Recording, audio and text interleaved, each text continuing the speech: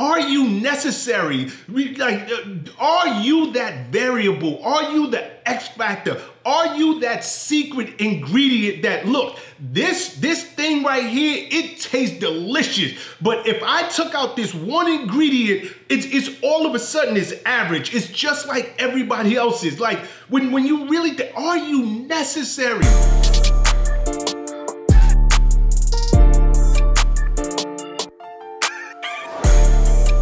Remember many years ago on VH1 or MTV or one of the music networks at the time, they did this um, special on Sean Diddy Combs, and they were really putting a spotlight on him. And this was like really take yourself back to the, the, the bad boy era when bad boy was on top, just running the music industry, putting out hit after hit after hit. So, you know, they, they were really looking at the guy behind the machine, which was Puff. And they had people from all throughout the music industry and entertainment really speak on his behalf, you know, rappers, singers, industry execs. And I remember one interview in particular, you know, they got to Lyor Cohen. And for any of you guys who don't know Lyor Cohen, please go and Google this man. This guy is a freaking legend in the music industry. And um, they got to, to, to Lyor and, you know, I you know, they asked him about Puff and what his thoughts was. And Lyor sat and he thought, and, and I gotta respect him because he actually gave it some thought. And then he did like this little grin and he was just, He's like, that effing guy is necessary. And Lyor talks with an accent. He's like, he is necessary. And I just started dying to myself because I was like, that was the best you could come up with. But when I really started to think about it, like I really sat and I was like, yo, damn, that is the best compliment that anybody can give you. Like, you know, when you really sit and think about it, like, are you necessary? Like, uh, are you that variable? Are you the X factor? Are you that secret ingredient that look, this this thing right here, it tastes delicious. But if I took out this one ingredient, it's it's all of a sudden it's average. It's just like everybody else's. Like when when you really are you necessary? And it you know brings me back to even my early days of coming up in the in the industry and my first job in the industry was was working on a street team. And trust me at the time i did not want to be on no daggone street team. I always envisioned myself working in the studio with artists and you know making hit records and being part of that creative process. And you know it was like yo the only position is is on the street team. And i'm like damn like who the hell wants to be a street meat like i'm with with the meatballs of the industry could you know and, and trust me, being on the street team has changed my life, but at the time, it's not like that was the most desirable position in the music industry. It ain't like you went up to a girl and told her like, yo, I'm, I'm, I'm on the street team, and, and she thought you was like really balling out like that. Even inside the offices, like at the record label, it was like, oh, the street team, they, they sit in the bullpen, like put all of them on that side. But I had to take these lemons that I was given I wanted to be in the game.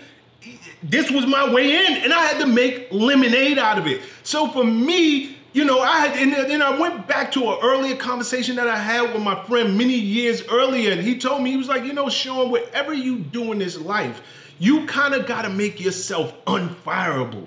And I started to think about that, you know, coming into the game, and I was just like, yo, you know what?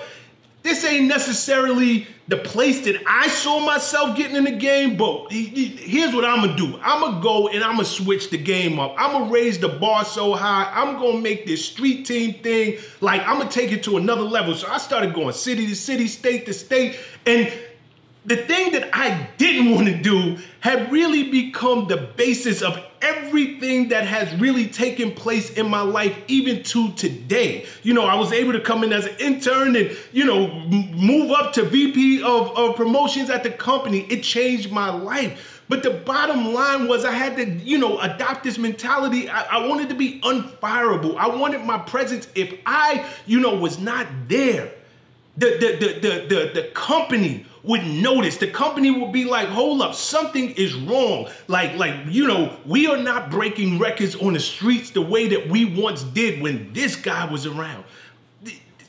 I ask you, are you unfireable? Is what you bring into the table in any part of your life Are you necessary? And if you can't say, yes, I am necessary, at my company, I'm unfireable, and don't get it wrong, do not get it twisted. Everybody is replaceable. Everybody's replaceable. But you should position yourself that if, for whatever reason, your company needed to get rid of you, or you came in and said, Look, I've been offered another position somewhere else, they would say, Look, whoa, whoa, whoa.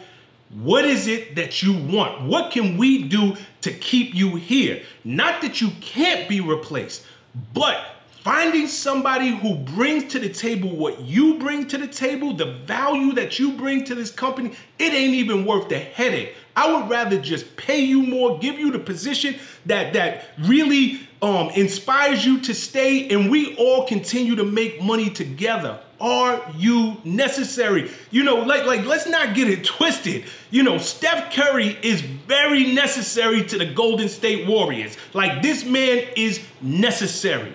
Russell Wilson, you know, he was a but he, he, he was a free agent not too long ago.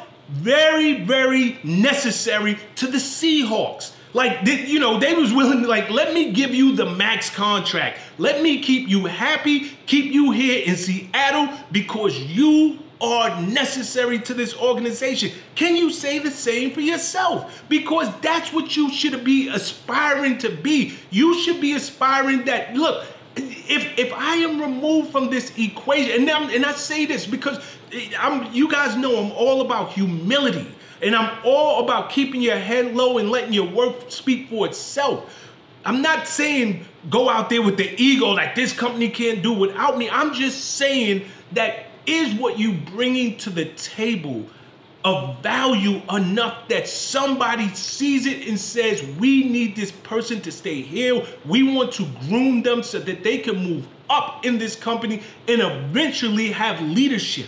Because if not, something is wrong. You're not working at your max performance. You need to step it up. You need to get in another gear. You need to do what you need, like whatever needs to be done so that you can put yourself in a position that you are unfireable or you are just plain necessary. And it's not just in business. Like, let's just keep it real. Even in our personal lives. Like you, you know, so often us as human beings, you you with somebody for a period of time and, and you get lazy, you get content, you stop doing all the things that you used to do that helped you get this person. And after a while, like the person with the light bulb goes off. It's like, yo, you're doing nothing. You're not bringing no money into the household. You barely work. Like, like you're eating all the food. Like, what are you bringing to the table? And then, you know, and I can speak from a from a guy's point of view. You don't never want to walk in and your girl is on the phone with her girlfriend. she talking about I could do bad all by myself. You know what that means? You are not necessary. You can be replaced. And, and, and really, you are on a, a, a, short leash because sooner or later you will be getting notice that you are out the door. It, it, it's just common sense, guys. You can never, never take your foot off the gas. You always want to make sure that whatever position you're in, and I'm, you know, it, it doesn't even, just in life, right?